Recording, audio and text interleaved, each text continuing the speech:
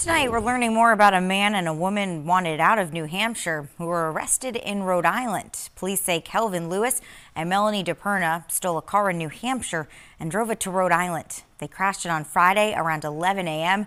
When a Good Samaritan and his passengers stopped to help, Lewis allegedly assaulted them and tried to take their vehicle. They eventually ran away and tried to hide in the basement of a nearby home before being arrested. Lewis was wanted by Nashua police following a stabbing last week.